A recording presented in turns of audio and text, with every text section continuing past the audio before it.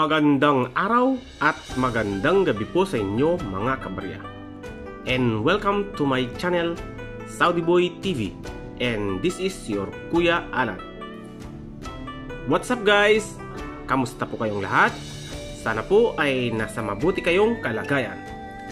Narito na naman po si Saudi Boy TV para magbahagi sa inyo ng konting impormasyon at update price ng aking mga coin collection.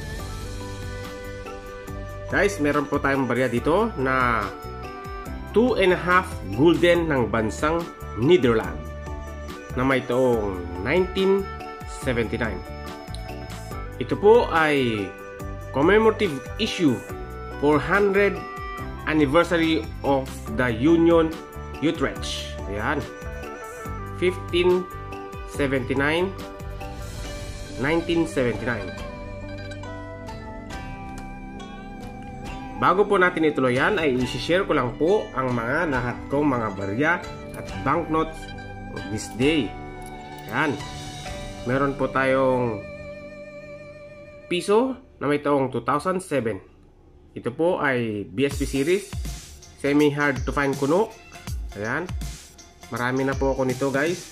2007. Meron po tayong piso 2011. Ayan, may scar po yung ano ni mukha ni Dr. Jose Rizal. At may pingas po yung tenga niya. Ayun. 1 piso at meron po tayong piso 2004 mukhang frost die po ito. Yung reverse frost die. Ayan guys.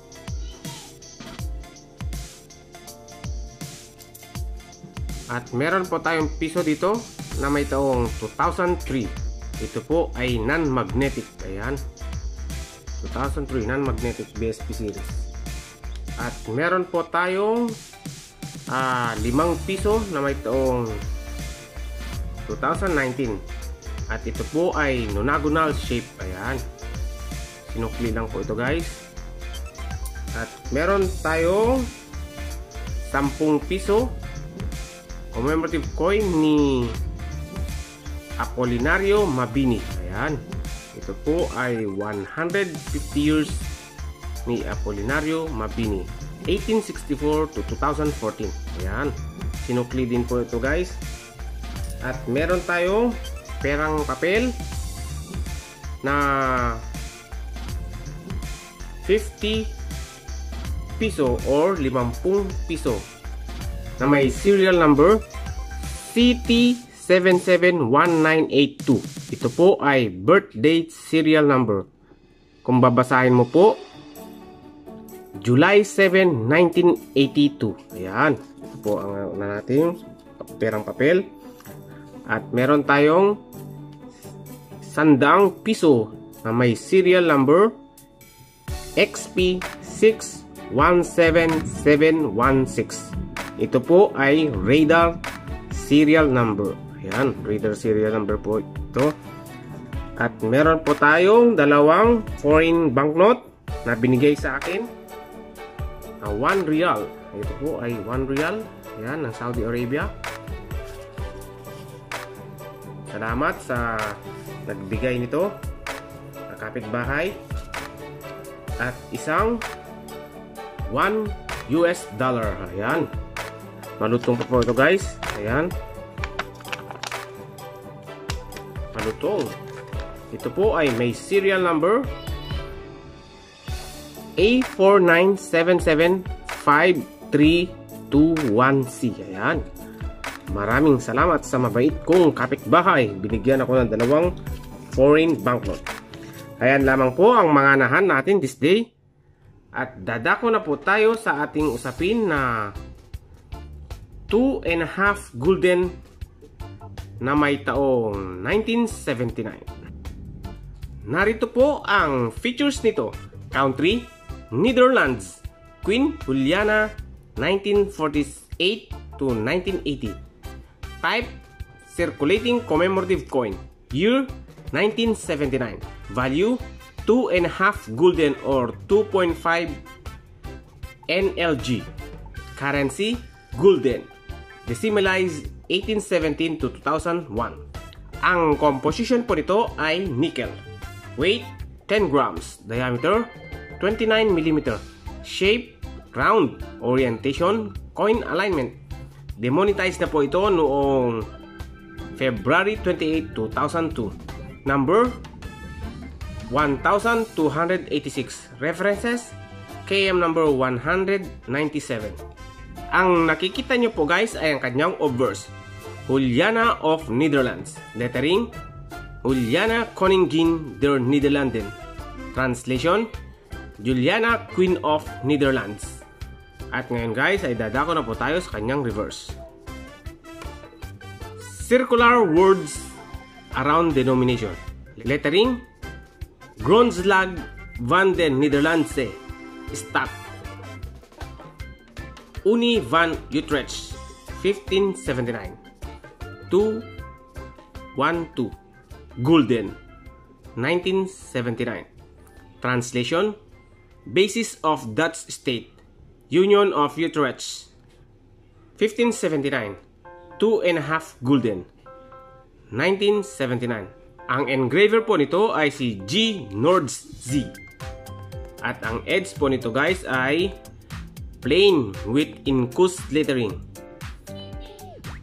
Lettering, God zit met ons. Translation, God be with us. Ayan.